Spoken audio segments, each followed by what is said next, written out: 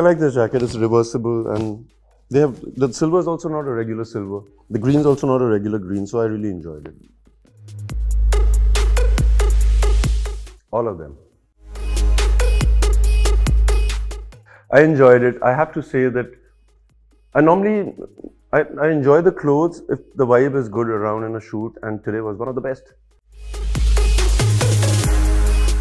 The best.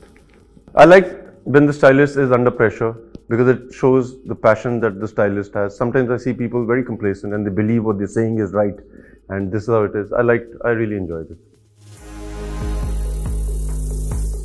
I enjoy colors. I, I, I just love everything, whether it's white, black, gray, anything. Do push-ups and I'm ready. Both. Depends on where I'm going and yeah, depends.